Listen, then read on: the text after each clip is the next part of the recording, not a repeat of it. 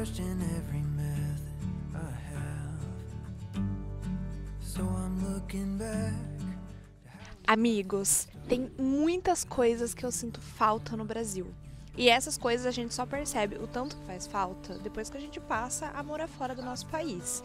E uma delas é a Páscoa. A Páscoa para mim é a época do ano que eu mais sinto falta.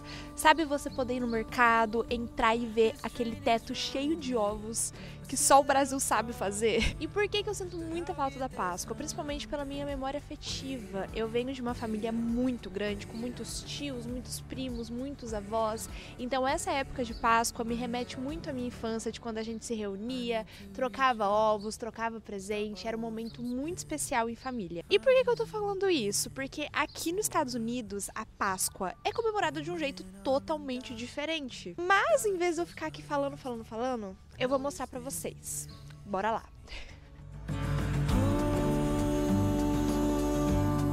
I still know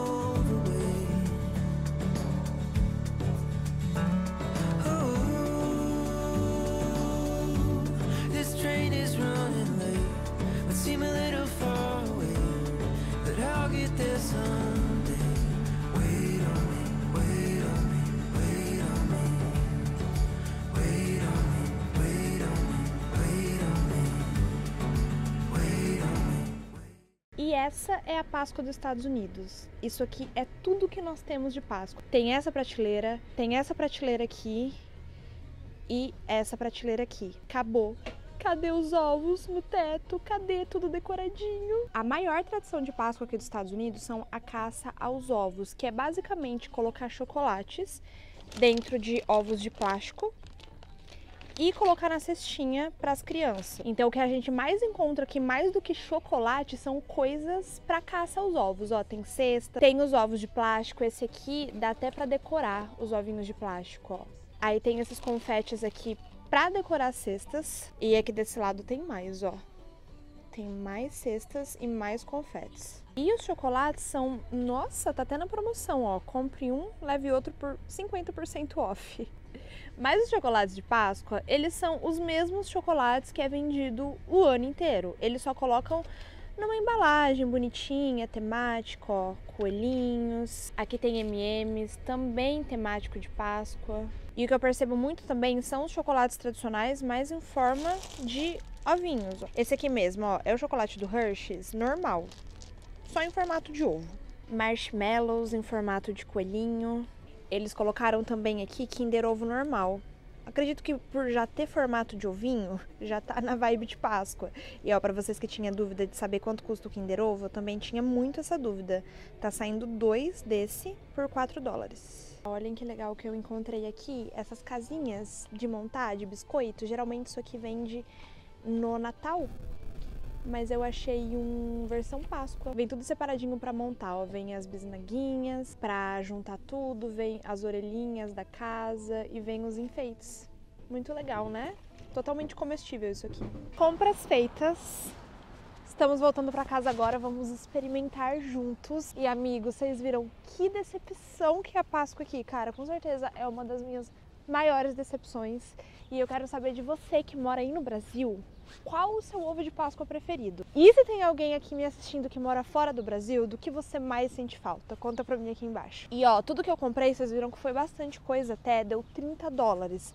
Então isso é uma coisa que eu fico pensando, por mais que a Páscoa aqui seja muito sem graça, pelo menos a gente consegue comprar várias coisas. A maioria dos chocolatinhos estava saindo por R$1,50. E eu tava conversando com a minha mãe semana passada, ela falou do preço dos ovos esse ano, de 2024.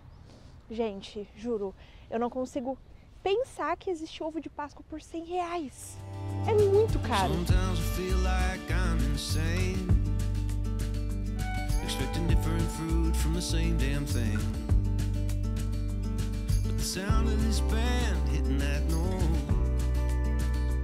Agora estou devidamente caracterizada pra gente conseguir experimentar todos os chocolatinhos que a gente comprou e eu tô muito animada porque vai ser a minha primeira vez experimentando esses chocolates de Páscoa. É minha segunda Páscoa aqui em Nova York. Ano passado eu fui no mercado com uma expectativa super alta. Eu vi o que a gente viu hoje, eu fiquei muito decepcionada.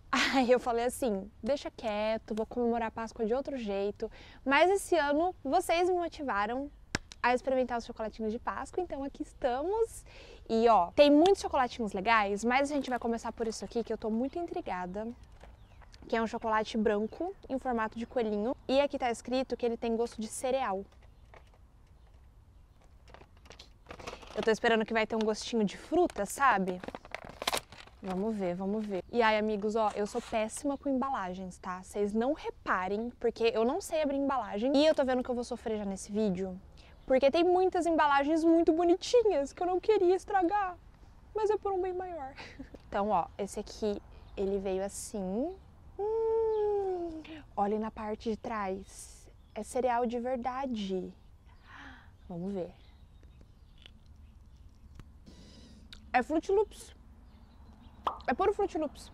Não tá escrito na embalagem, é outro tipo de cereal, mas o gosto é o mesmo, aquele cereal bem coloridinho, sabe? Hum, é muito gostoso. Esse aqui valeu demais. Hum, nota 10.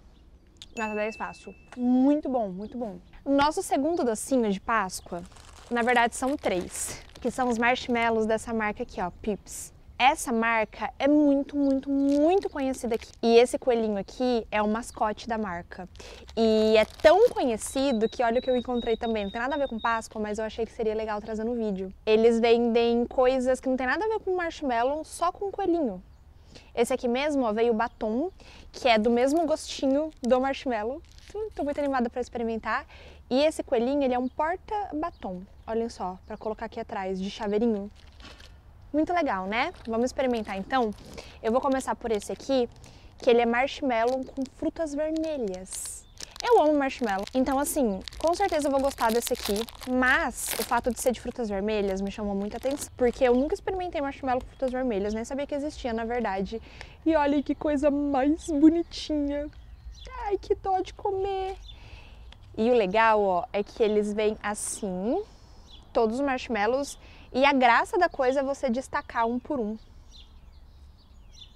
Vou começar pela orelhinha. o gostinho de frutas vermelhas é bem cítrico assim, sabe? É suave, mas é cítrico, dá pra sentir bem. Aprovado. Nota 8, vai. Não é tipo incrível. Acredito que não vai ser a melhor coisa que a gente vai experimentar aqui hoje, mas é muito gostoso. Valeu a experiência. Agora eu vou experimentar esse aqui, que é o tradicional deles. Vamos ver. Não tem gosto de nada, é só um marshmallow mesmo. E eu nunca experimentei nem o tradicional, então eu tô muito animada pra ver se realmente vale a fama que tem, sabe? Hum, ele é branquinho por dentro, ó. E amarelinho por fora. Hum. Ele tem um gostinho de baunilha, bem gostosinho. Eu achei que não ia ter esse gostinho. Mas assim, é marshmallow normal. Vai. Nota 8 também. Agora vamos para esse aqui, que eu tô mais curiosa. Ele é o único da marca que não tem formato de coelhinho. Esse aqui é patinho. E é como se fosse um pirulito de marshmallow. Olha só. Ah, que legal! E olhem as cores. Achei muito divertido. Assim, a gente tem que usar a imaginação, né, para ver que é um pato. Não parece tanto, mas é. é igualzinho o último que a gente experimentou agora. Mesma coisa, só muda o formato e as cores. Hum, falar pra vocês, é doce, tá? Nossa senhora, o terceiro marshmallow que eu comi, ó, quero mais não. Isso porque eu sou formiguinha. Agora vamos abrir esse, que eu tô muito animada pra saber se o batom tem o mesmo gosto dos marshmallows. Vamos lá. Acho que eu achei um jeito incorreto de abrir a embalagem, mas foi mais fácil. ó, o chaveirinho que bonitinho. Aí dá para encaixar certinho o batom aqui dentro. Achei demais isso aqui. Hum, é daqueles tipos de batom que você passa da vontade de comer. Muito gostoso. É assim, é um batom infantil, né? Bem divertidinho. Cheirinho é bem gostoso. Agora vamos para esse aqui que eu tô muito animada. Porque essa marca que eu sei que ela é bem conhecida, eu nunca experimentei nada dessa marca. Aqui tá falando que é cream egg. Então dentro do ovinho tem um creminho amarelo, pelo que eu tô vendo aqui na embalagem, tipo parece gema de ovo mesmo. E ele veio numa embalagem como se fosse uma dúzia de ovos, ó. Achei muito legal. Vamos pro que interessa, ver se o gosto é bom. E vamos ver, vamos ver. Eu tô animada. Pra ver qual é que é disso aqui, que eu achei diferente. O cheiro do chocolate é bem gostosinho, o chocolate ao creme parece.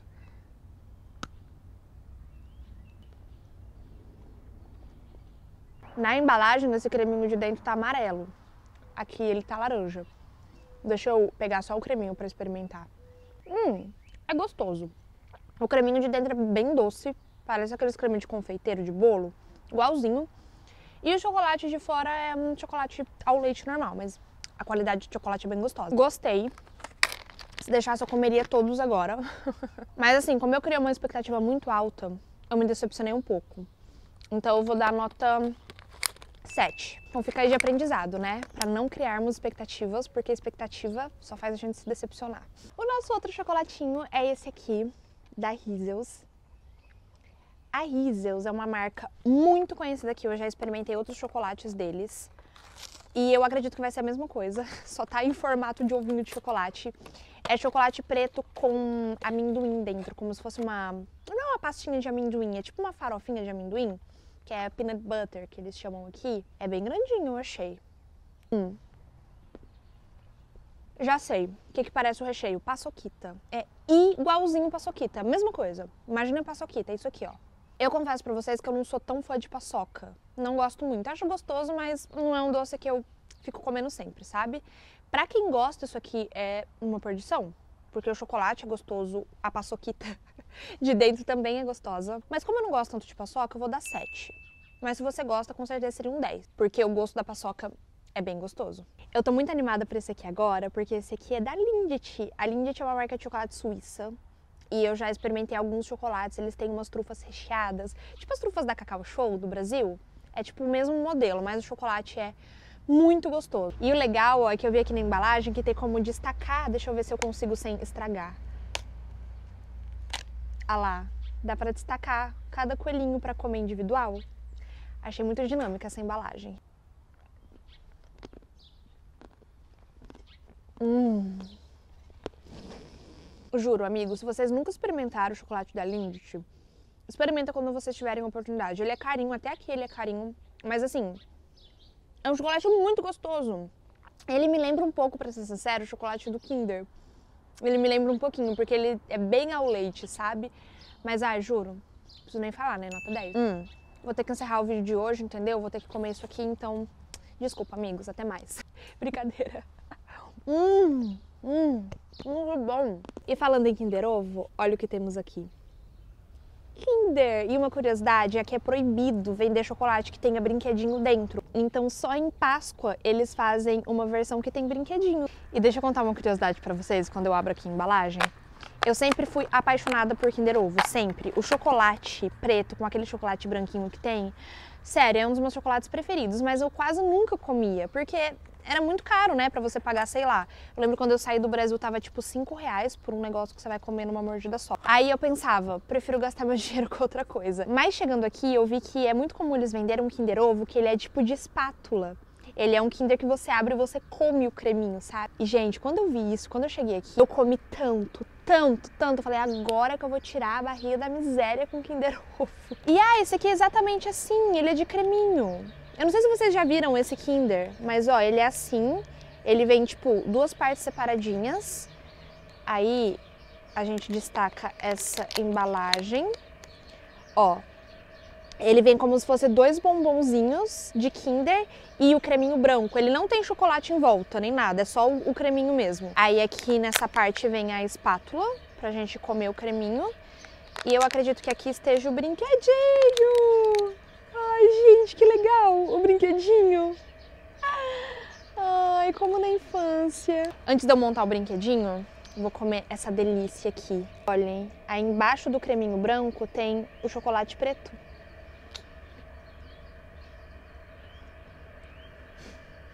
Amigos, isso aqui, sério.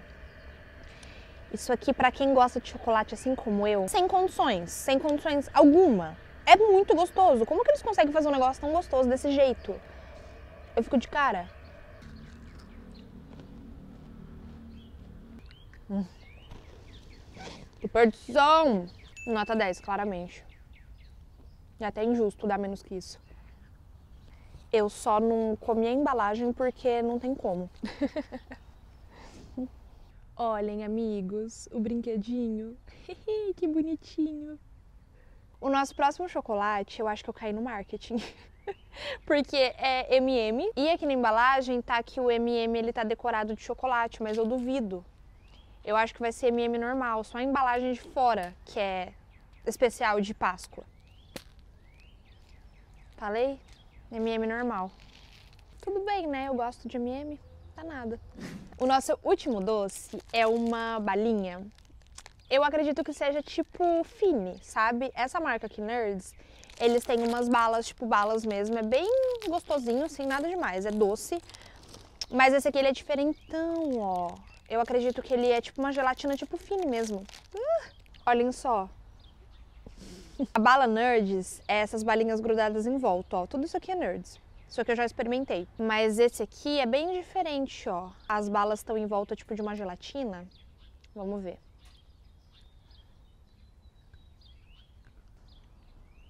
Nossa, eu esqueci o tanto que isso aqui é doce. Caraca, doce demais. Sabe quando dá um choque de glicose? Gostei não, amigos. Gostei não, não valeu a pena. É muito doce. Eu acho que, tipo assim, é um doce desnecessário para comer. Eu prefiro comer um chocolatinho, sabe? Nota. Nota 2, vai. Eu espero muito que vocês tenham gostado desse vídeo, de conhecer como é o Natal aqui nos Estados Unidos, como os mercados se comportam nessa época do ano, conhecer os chocolatinhos. Eu amei compartilhar tudo com vocês e me digam aqui embaixo qual que vocês mais gostaram, qual que vocês experimentariam.